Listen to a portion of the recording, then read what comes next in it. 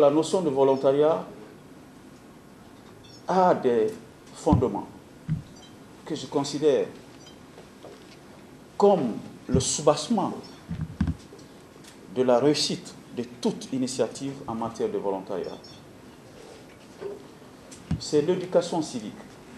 La notion d'éducation civique a été définie, redimensionnée à sa juste proportion pour qu'elle constitue le socle de notre démocratie, pour qu'elle constitue le fondement du vivant ensemble.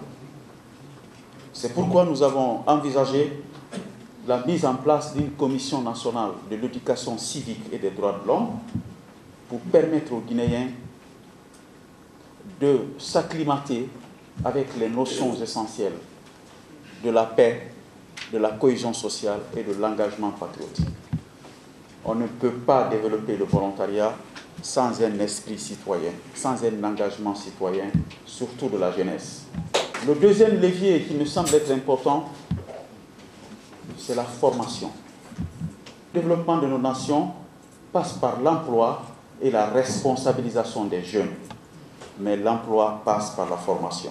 Vous ne pouvez pas prétendre être un volontaire si vous n'avez pas d'expertise, de, service à offrir à la communauté.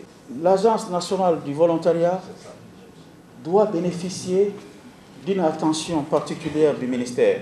Ce n'est pas à nous de prioriser le volontariat à la place du sport, ou le sport à la place de l'éducation, ou l'éducation à la place de la culture. C'est la vision du gouvernement en la matière qui détermine les prises de position du Parlement en faveur d'une allocation budgétaire proposée par le département sectoriel concerné et qu'on analyse et qui est doté en crédit budgétaire. Mais la demande doit provenir du gouvernement. La formation, le renforcement des capacités, la production de l'expertise, la valorisation de l'expertise, l'accompagnement de l'expertise jusqu'à sa consommation par la communauté pour que cette expertise soit un moteur de transformation sociale, économique et politique de notre pays. C'est ça le renforcement des capacités. L'agence doit avoir les moyens de préparer les volontaires, les identifier, les former, les valoriser, les accompagner jusqu'au niveau de leur point d'impact. Et le point d'impact du volontaire, c'est la communauté d'abord. Les Guinéens se sont battus comme des volontaires pour, la sécurité de notre pays quand nous avons été agressés ici dans les années 2000. Des enseignants sont dans les milieux ruraux. Nous avons les donzos qui travaillent volontairement, bénévolement aussi dans nos villages. Vous avez des juges coutumiers, des sages qui passent tout leur temps à régler les problèmes dans nos villages, mais personne n'est reconnu comme volontaire parce que nous n'avons pas de politique nationale. Nous souhaiterons que cette politique nationale puisse être un complément pour nous permettra de même, Monsieur le Président, que vous nous dotez de lois pour reconnaître vraiment le travail des volontaires et leur mérite, ne serait-ce que des reconnaissances. Parce que sans cela, l'État n'aura pas suffisamment de moyens pour faire face aux défis du développement. Si nous n'avons pas de reconnaissance des volontaires, nous n'aurons pas des patriotes engagés dans notre armée qui pourront faire le don de soi. C'est pour ça que nous voulons la reconnaissance du travail des volontaires. Et cette reconnaissance par la nation permettra à tous les jeunes de comprendre que le salaire n'est jamais suffisant.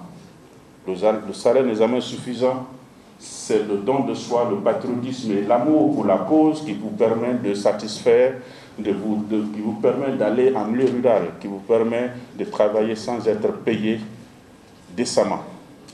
Mais si nos jeunes, nos jeunes n'ont plus ça, Monsieur le Président, c'est une réalité, nos jeunes ne veulent plus aller au champ. Nos jeunes ne veulent plus faire l'agriculture ni l'élevage. Ils ne veulent plus assainir. Ce sont des jeunes lyonnais qui sont dans l'assainissement dans notre ville. Dans nos champs, ce sont des jeunes burkinabés, sénégalais et maliens qui sont dans les fermes. Parce que tout simplement, nos jeunes n'ont pas encore adopté ce volontariat. Il y, a des secteurs, il y a des secteurs qui sont stratégiques pour notre économie.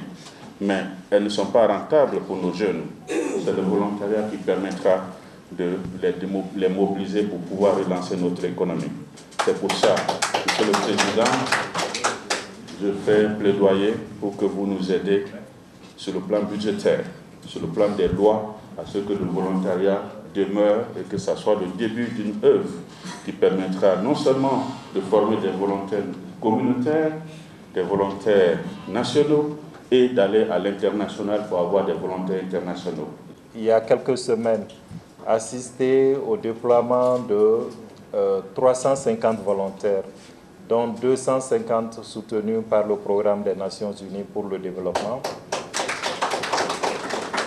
qui sont en cours de déploiement dans les régions de Zérékoré et de Kankan.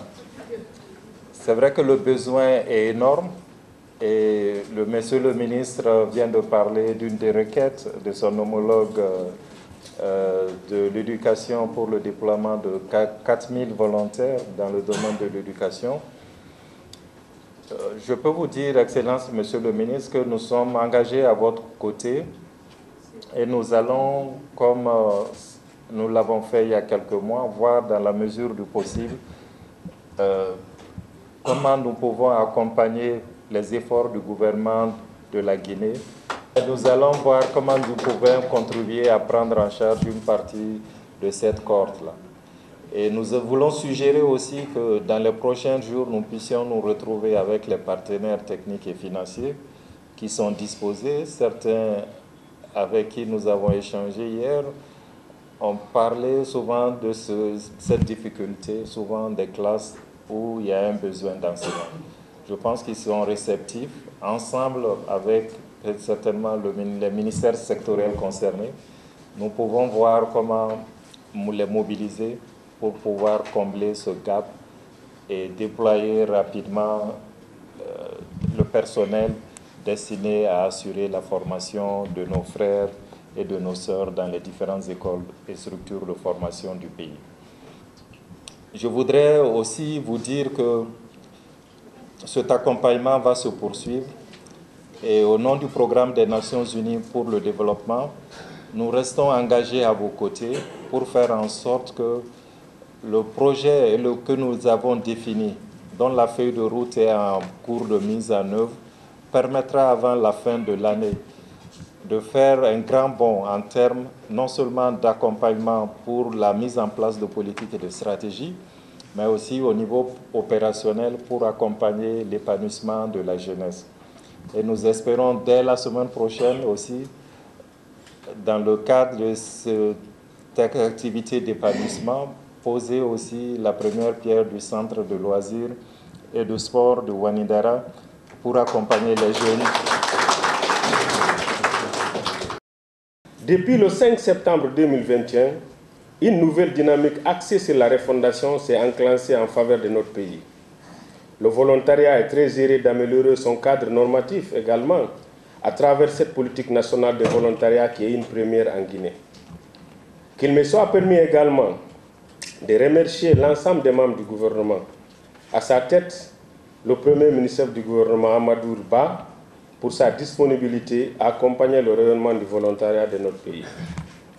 L'occupation saine de la jeunesse par l'émergence et l'engagement citoyen des volontaires à servir leur nation et la vision stratégique de M. le ministre de la Jeunesse et des Sports, Kiamou Bogola Haba, qui depuis son arrivée à la tête de ce département a posé des actions concrètes dans le domaine du volontariat. À titre illustratif, le déploiement inédit pour une première fois en Guinée de 350 volontaires agents de santé dont 60% des femmes dans les 11 préfectures des régions administratives de Zérekouré et de Kankan. Ce programme est en phase d'être réalisé dans les régions administratives de Boké, Kindia, Mamou, Farana, Labé et les 13 communes de la zone spéciale de Conakry, avec bien entendu l'accompagnement de notre partenaire traditionnel qui est le programme des Nations Unies pour le développement que nous saluons. Le déploiement en cours de 4000 volontaires dans le domaine de l'éducation avec le ministère de l'Éducation nationale de l'alphabétisation, la signature des protocoles d'accord dans les jours à venir entre l'ANVJ et France Volontaire l'ANVJ PISCOR et l'ANVJ Carrefour International du Canada qui viendront s'ajouter sur les conventions avec le Conseil national de la transition.